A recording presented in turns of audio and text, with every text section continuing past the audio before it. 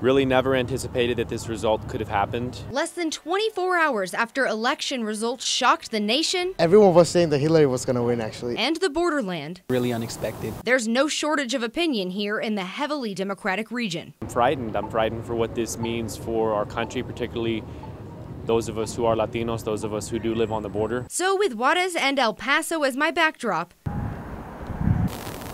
I only needed to say one thing.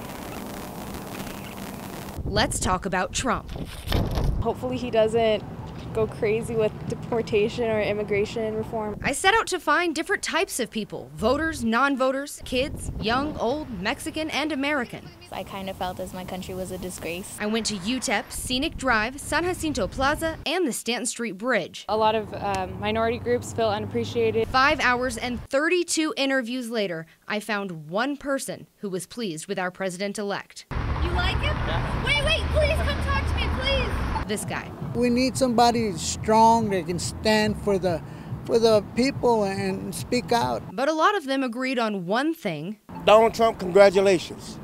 Congratulations. You're our president. You're our 45th president. We just need to accept the reality and just hope that he does better than what we're thinking. We need to rally as a country and support whomever is sworn in as president.